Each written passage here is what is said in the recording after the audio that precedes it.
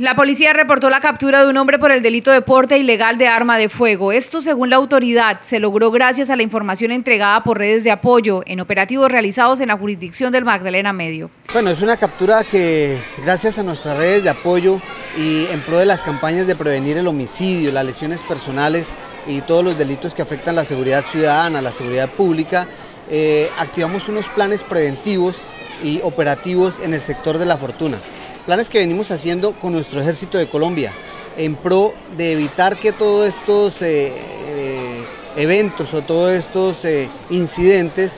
sigan incrementando los índices de mortalidad por lesiones personales o por homicidio. Según el coronel Iván Calixto, la persona capturada no presenta antecedentes. logramos detectar una persona que cargaba un arma de fuego, información que fue recibida desde una de las redes de apoyo y al momento de, realizar, la requisa eh, le encontramos esta arma y fue puesta a disposición eh, de la Fiscalía General de la Nación por tráfico y fabricación de armas de fuego. El capturado fue puesto a disposición de la autoridad competente para continuar con el procedimiento correspondiente según el delito imputado.